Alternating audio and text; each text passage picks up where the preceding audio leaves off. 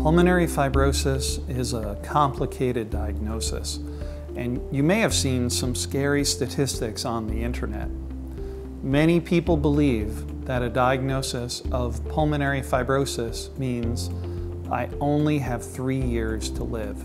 This widespread statistic doesn't apply to most people with pulmonary fibrosis. The first thing you should know is that the three-year number only applies to people with idiopathic pulmonary fibrosis, which is only one type of the more than 100 types of pulmonary fibrosis. If you have a different type of pulmonary fibrosis, your average might be longer than three years.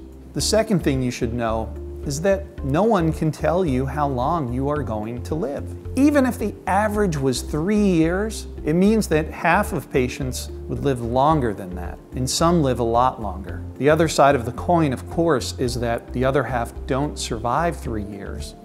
It's hard to know which side of that three years you, as a patient, are on. When thinking about the future, your doctor may be able to give you an idea of what the progression of your disease might look like. Progression means that scar tissue is building up in the lungs. In the early stages of the disease, people often have no symptoms. Eventually, as scar tissue builds up, breathlessness during activities such as walking upstairs and hills, and coughing begin. In more advanced stages of the disease, you may need to use oxygen 24 hours a day with increasing oxygen flow settings as the disease progresses. Progression occurs differently for different people.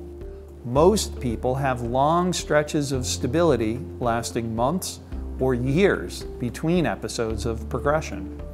Progression episodes often occur slowly over months, but sometimes can occur rapidly and are sometimes severe, requiring hospitalization.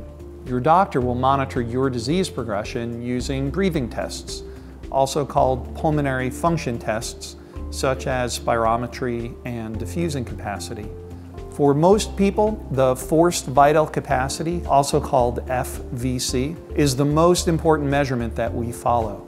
FVC is a measure of how much air your lungs can hold. As scar tissue builds up, the lungs get stiffer and stiff lungs hold less air. Your doctor may also monitor progression by measuring your oxygen levels, both at rest and after walking, for example, using a six minute walk test, and by performing CAT scans of the chest. Each person's experience living with PF is different. There is no usual experience. The Pulmonary Fibrosis Foundation has resources like educational webinars and support groups that can help you learn more and meet others who may have common experiences.